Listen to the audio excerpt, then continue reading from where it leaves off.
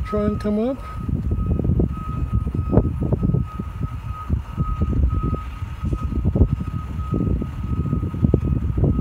I guess he is. Okay.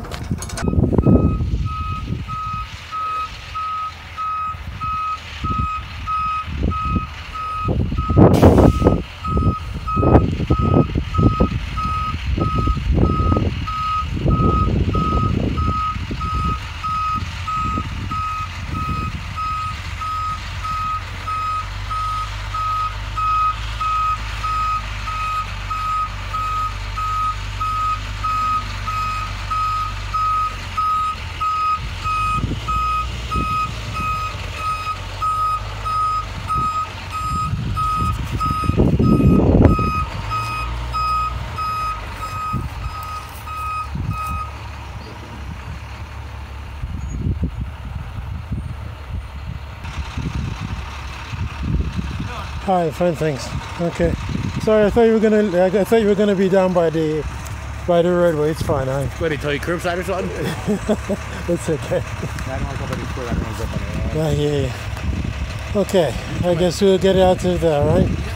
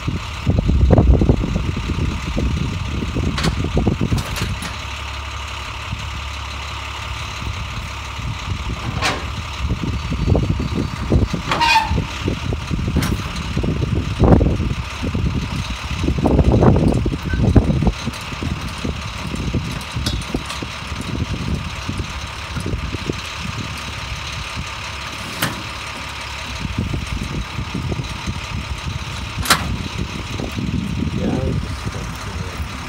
Thank you, sir.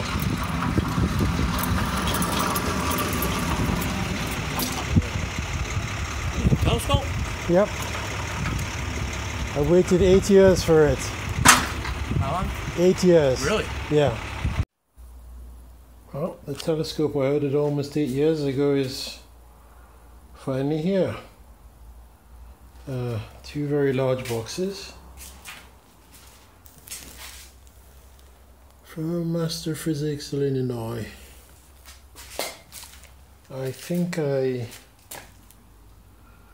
got on the waiting list for this in probably um, 2009.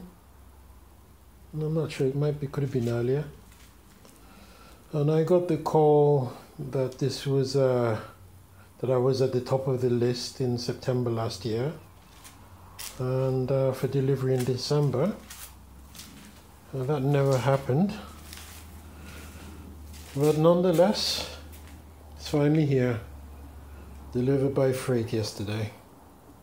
Um, so busy with work, work that uh, normally I'd be all over this thing, but I was so tired last night I just had to go to bed. So today's the day I take it apart and uh, see what awesomeness lies within. Geez, this freaking thing is heavy. it's bloody heavy. I think it's inside a wooden box or something. Anyway, I'm kind of three quarters of the way there. Well, I got both boxes into the living room. That is incredibly heavy. Uh, and I guess the usual guy thing if you don't have anyone to help you, you carry it anyway. anyway, I got it in. I think we'll start by opening the smaller boxes and see what's in there.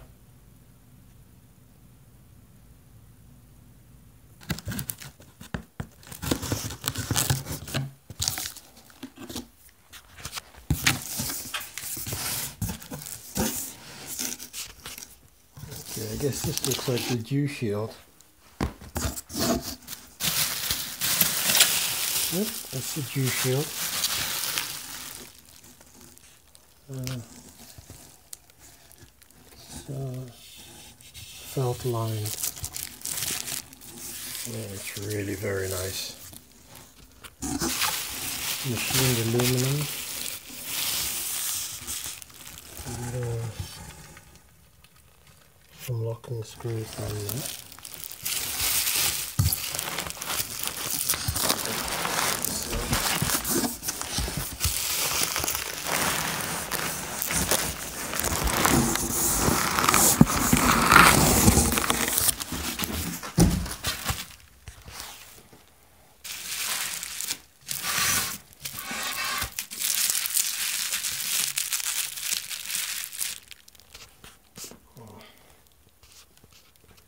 I think we'll uh, actually leave taking that off until we have all the pieces out. Uh, this is the heavier of the two smaller boxes. Oh my god. Peanuts. I hate peanuts. Let's see if we can get what's in here out without uh, getting peanuts everywhere. Uh, I'm not exactly sure what this is. It's flexible. Mm, guess we'll find out. This is in here. Uh, nondescript box. Put that aside.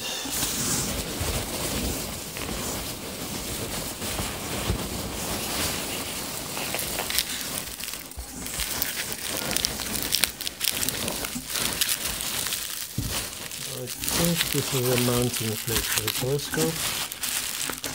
Telescope attaches to this and then this attaches to the mount. This aside.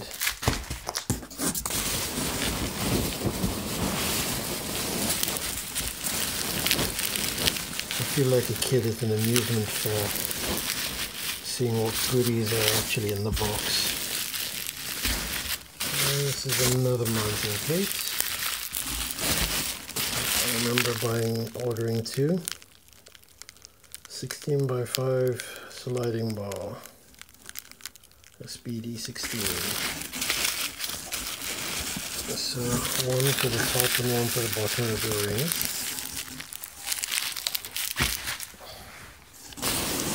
What else is in here? Seems to be some more in here.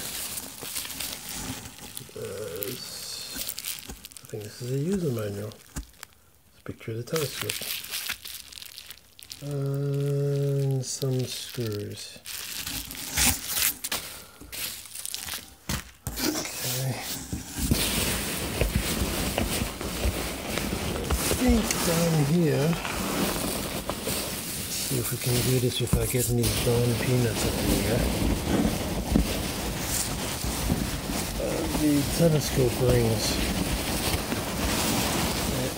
actually very large, so it's gonna be difficult to get these out. So, oh, I found another box. Lots of good stuff in here. So let me get these rings out of these peanuts. I think I need both hands to to do this uh, without getting all these peanuts all over the carpet. Okay, I managed to get the rings out. Two aluminum rings, top and bottom. Um, I got them out by tipping the peanuts into this box from the box they came in. And as you can see, there's tons of the darn things. Anyway, I think it's recycling next week. And uh, that's it for the smaller boxes. I'll put these aside and then we can dig into the bigger box. So that's the contents of the two smaller boxes. The rings, uh, possibly a flexible cover for the telescope, a couple of smaller boxes which I assume are the focuser, I could be wrong, two mounting plates, user guide, and the dew shield. Hmm. Now the dew shield has a front cover. Hmm, maybe that's what this is. Anyway, time to dig in here and see what's there. Oh. And made in America, which is awesome. Speaking as someone who's actually a Brit, that is a good thing to see.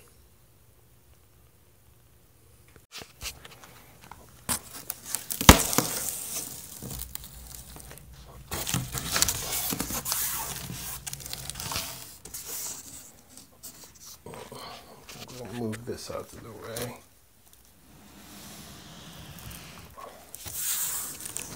Okay.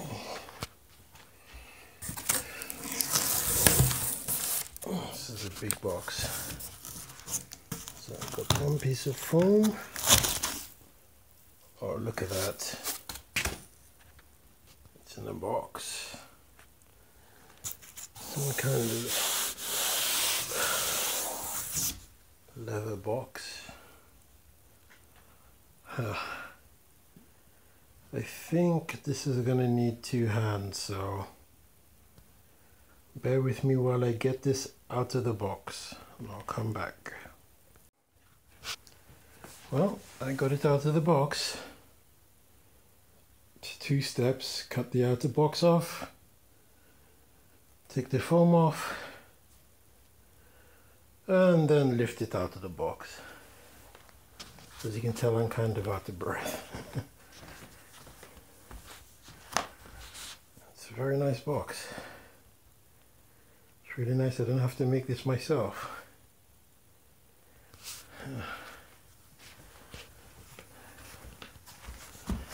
Let's see what's inside. Trust me, it is very heavy.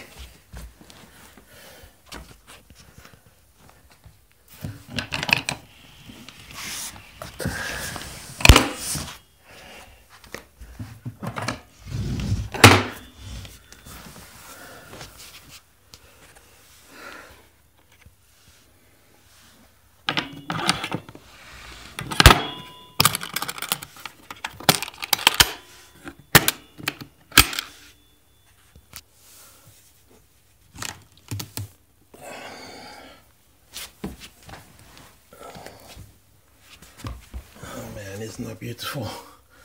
I'm sorry, I have to look at the box first before I even look at the telescope. That is fantastic. The material is just wonderful. And here's the telescope. I think it weighs about uh, 50 pounds. And it has these straps to lift it out of the uh, case. Um, I unbelievably uh, don't really want to take it out of its box right now until I am ready to put it in the observatory but I think curiosity is going to get the better of me but I'm higher up. That's what it looks like. Great piece of American engineering by a great company. And optics by a really fantastic optician.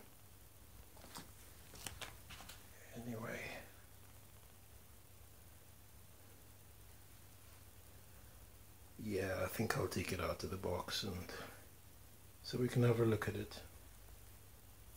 Okay, uh, these are the rings, telescope rings. This is an adapter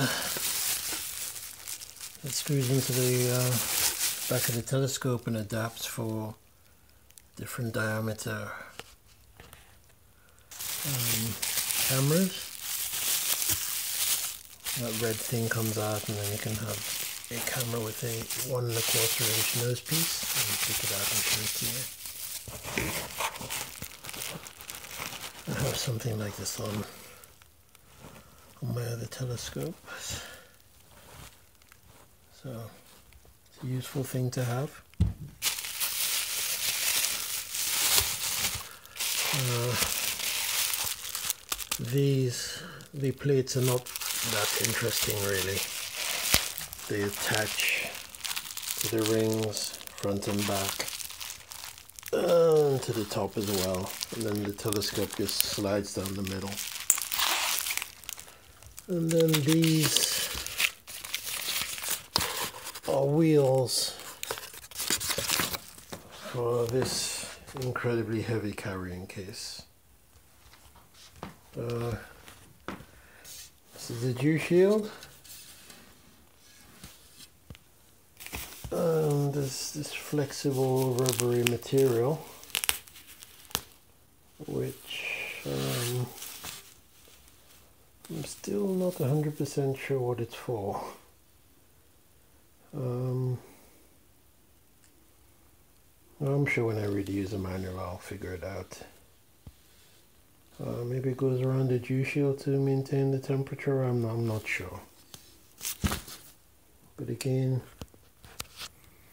really beautiful engineering all around.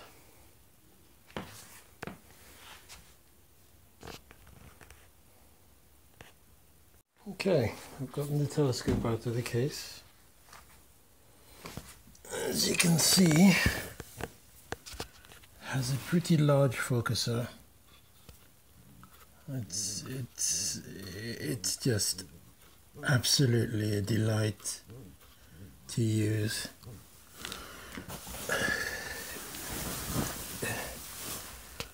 Unless you're actually here turning this and seeing how this focuser operates. It's kind of hard to describe. So that's the coarse adjustment.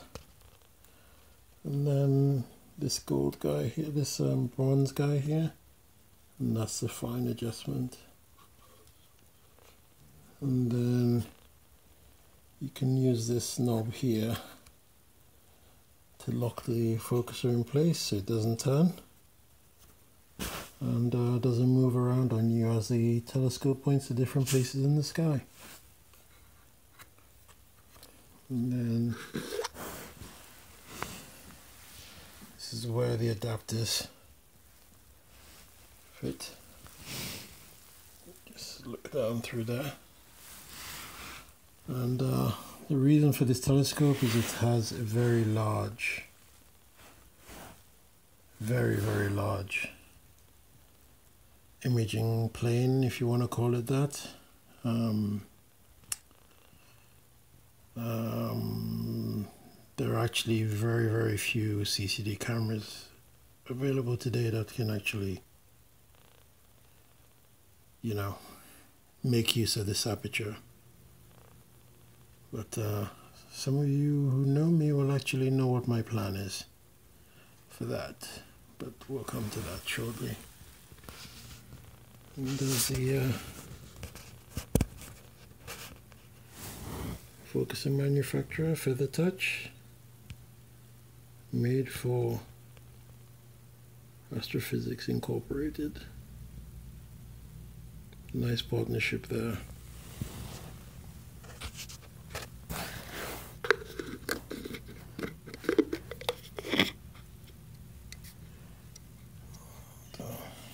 Carrying handles and I believe you can take these off to open the back plate to get the telescope to cool down faster.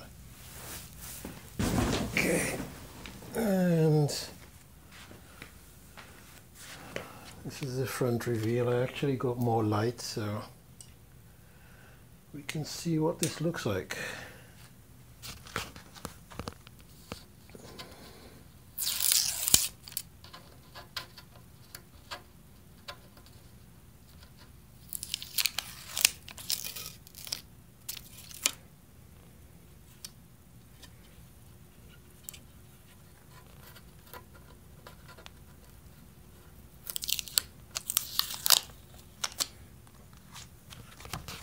Front view cover. Let's see if we can get this off. It's a very, very close fit. Hmm, We still have one.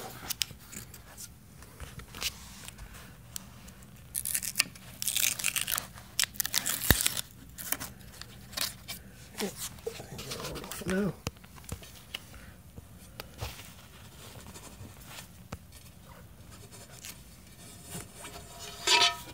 And there it is.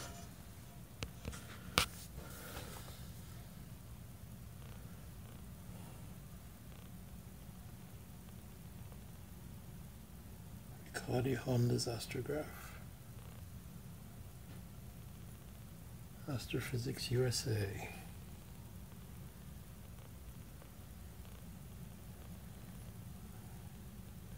F three point eight.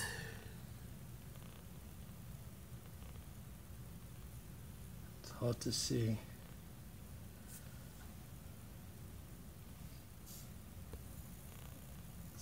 Hundred and five millimeters. There you go.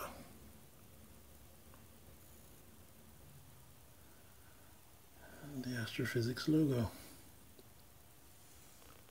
So it's gonna be a while before I put this in the observatory, but uh, it's here and I'm kind of happy. And I guess the next step is the reveal of what my next plans are. Okay. So we were talking about um, the image circle produced by this telescope. is, I think it's about 70 millimeters. Um, um, a typical 35 millimeter um, CCD camera, they're kind of pretty darn expensive. And this will very, very, very easily illuminate a CCD camera of that type. Um, but I decided to go one further. So I have uh, this Spectral Instruments 800S CCD camera. This has a uh, 61 millimeter square CCD sensor, 4K by 4K. Um, this camera weighs about 18 pounds, so it's actually very heavy. Um, it's uh, too heavy for this focuser, I believe. So uh, one of my tasks is going to be to swap this out with an electronic focuser that uh, can carry that weight and uh, machine an adapter to mate the yet to be purchased focuser to the front plate of this camera. Um, this is just a uh, this is just a um, a frame from the machine that I salvaged this camera from. So this frame is going to go away, and so will this front bezel here. Um, I'm not sure what the final layout will look like, but uh, that's the plan. And um, I will show you the front CCD of one of these cameras so you get an idea of uh, how big it is. Uh, let me get a couple of calipers or, and uh, I'll show you. Okay, rather than use a pair of calipers, I'll just show you with a good old ruler. So as you can see, the clear aperture coming out of the back this telescope is uh, almost 70 millimeters. Let's take this off. Yep. Just uh, just a hair under 70 millimeters. That's a flat field based on uh, the optics in there. And I will show you the um, the CCD in this camera. So here we have the uh, absolutely enormous CCD and a spectral instruments camera. Um, it is actually square so I'm just going to measure one dimension and if we can get this thing to display properly I'll do it from the bottom.